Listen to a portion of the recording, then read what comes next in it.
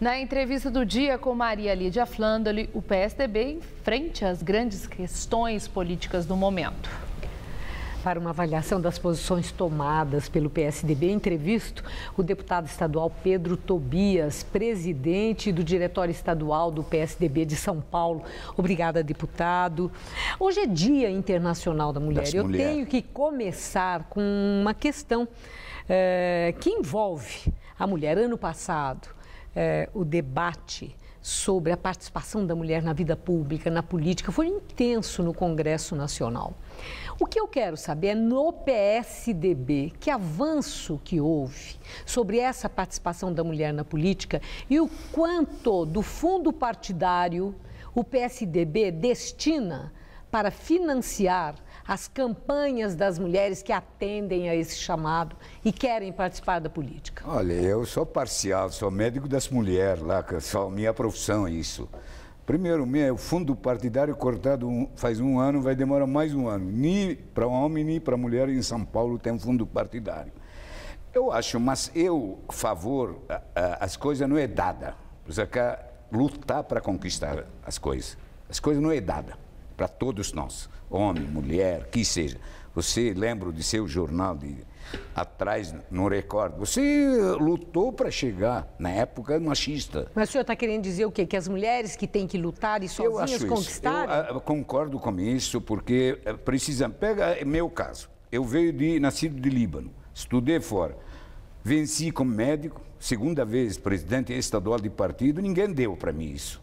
É, precisa lutar, trabalhar. Isso, a vida, eu mais gostoso com, com você conquista as coisas. Mas se no PSDB, o senhor é. diz não tem o fundo partidário, mas é óbvio que existe uma questão de base. Sem um fundo para bancar uma campanha, de que adianta conclamar pessoas a participar. O partido tem uma forma de colaborar e ajudar aqueles em quem vê potencial.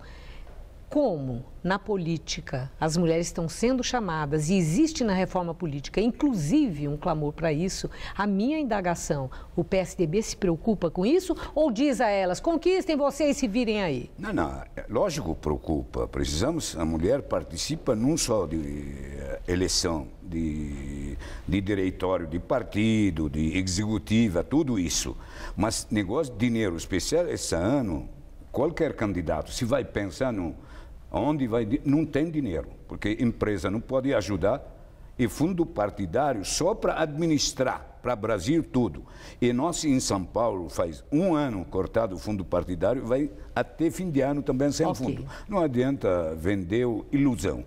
Vai ser sapato, suor para ganhar a eleição.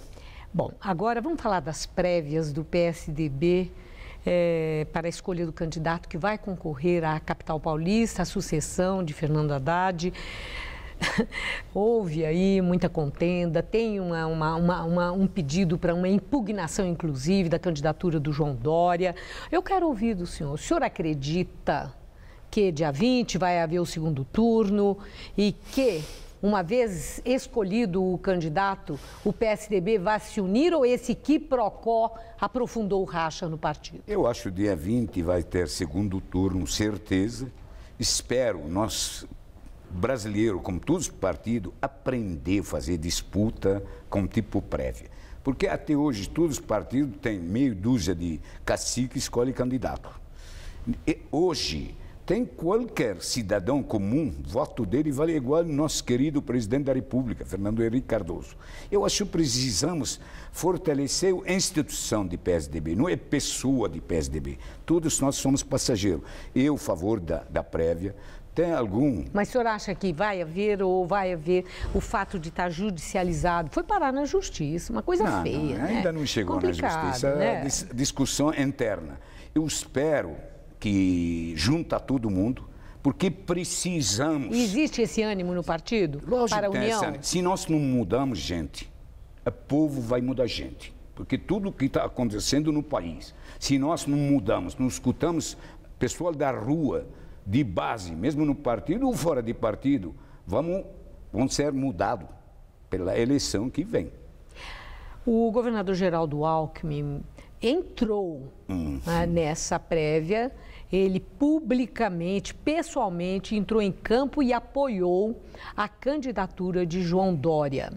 A pergunta é: Alckmin acertou em assumir essa posição, acho, mostrando a preferência dele? Eu acho sem dúvida, porque Geraldo é um cidadão comum.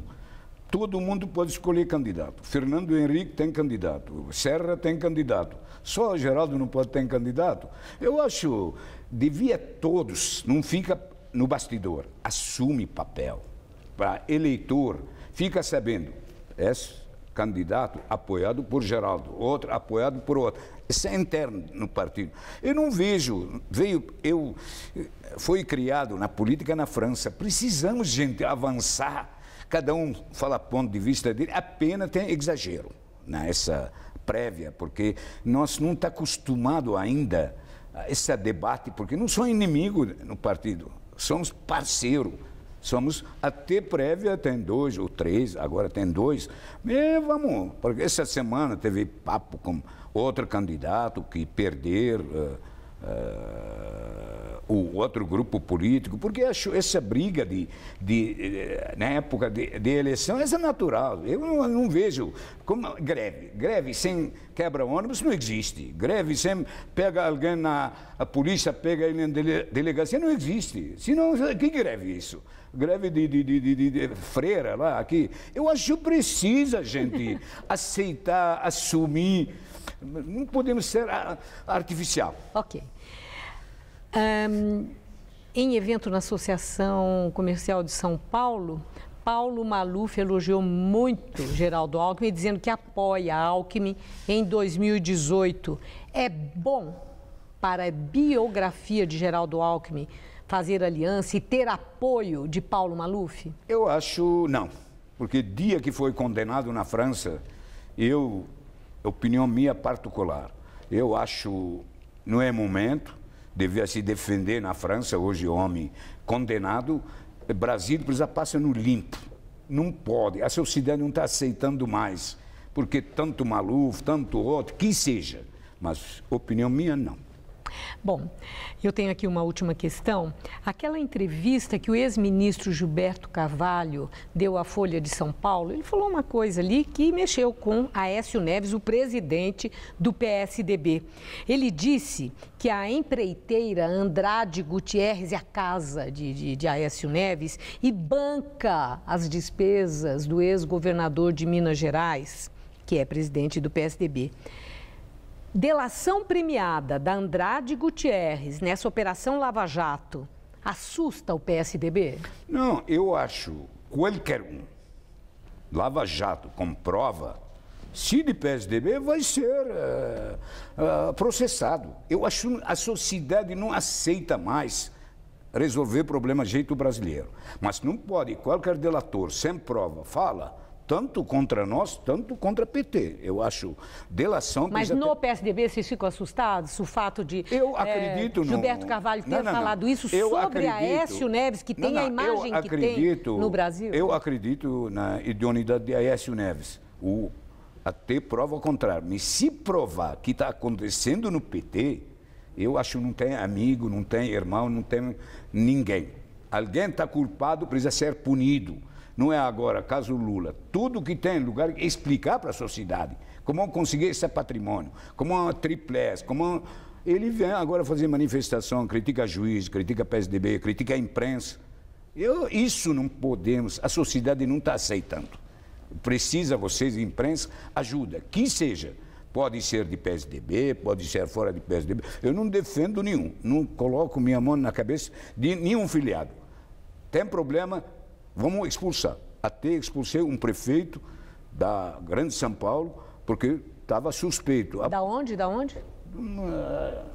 Filó, chama perto de, de, de Bom, me lembro bem, o nome da cidade, bem. a gente vai Quer ver. dizer, tomou uma posição. Tomei posição, foi okay. expulso. Hoje saiu a expulsão dele, porque não podemos. A sociedade vai mudar a gente se nós não mudamos. E eu agradeço muito sua entrevista, o vigor das suas palavras. Muito obrigado, uma boa noite. Obrigado, parabéns. Boa noite. No seu nome, cumprimento todas as mulheres, Dia Internacional das Mulheres. Obrigado. Muito obrigada, boa noite. Estela.